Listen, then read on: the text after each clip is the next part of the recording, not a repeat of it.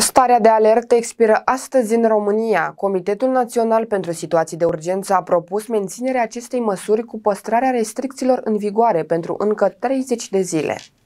După această prelungire a stării, vom intra în a 10-a lună de alertă. Dacă adăugăm și cele două luni de situații de urgență, pe 16 martie 2021 se împlinește un an de când România este plină de restricții. Cu data de 12 februarie se va prelungi din nou starea de alertă cu 30 de zile. Ce părere aveți despre asta?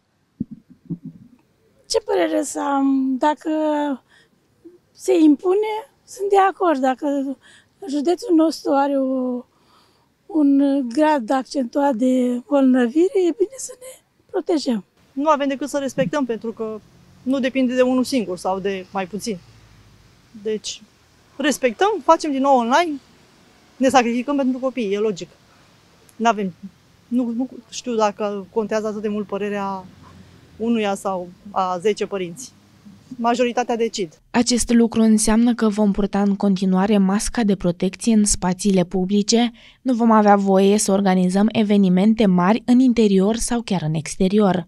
De asemenea, competițiile sportive se vor desfășura în continuare fără spectatori. Comitetul a propus și menținerea măsurii prin care nu avem voie să circulăm pe timpul nopții între orele 23 și 5 dimineața, decât dacă avem declarație pe propria răspundere sau de la angajator.